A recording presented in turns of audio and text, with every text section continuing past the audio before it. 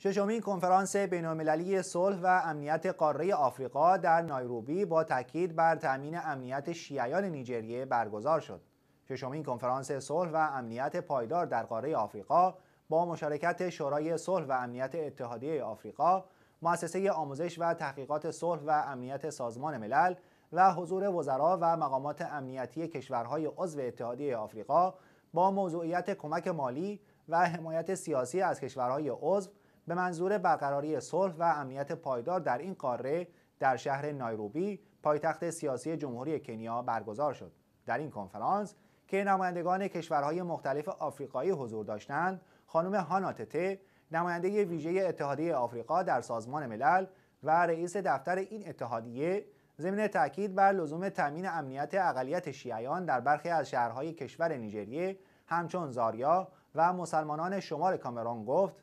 باید با حفظ همبستگی و صلح بین کشورهای آفریقایی امنیت را در این مناطق شیعه‌نشین و دیگر کشورها تأمین نماییم. نمایندگان کشورهای آفریقایی حاضر در این کنفرانس نیز ضمن تایید سخنان وی بر لزوم تامین امنیت در آفریقا تاکید کردند. این در حالی است که شیعیان در نقاط مختلف آفریقا خصوصا در نیجریه علاوه بر هدف قرار گرفتن توسط سنیهای تندروی بوکو حرام توسط حکومت نیجریه نیز سرکوب می‌شوند و در آخرین آنها بیش از 150 تن از شیعیان با شلیک مستقیم نیروهای ارتش نیجریه به شهادت رسیده و یا مجروح شدند. این شیعیان در مراسم پیادهروی اربعین حسینی شرکت نموده و در حال انجام آین مذهبی خود بودند که به عنوان یکی از حقوق اساسی هر انسانی در جامعه جهانی شناخته شده است. شایان ذکر است میلیون ها تن از شیعیان در کشورهای مختلف آفریقایی زندگی می کنند ولی به دلیل نفوذ سنی های تندرو در این کشورها و نیز وجود گروه های تروریستی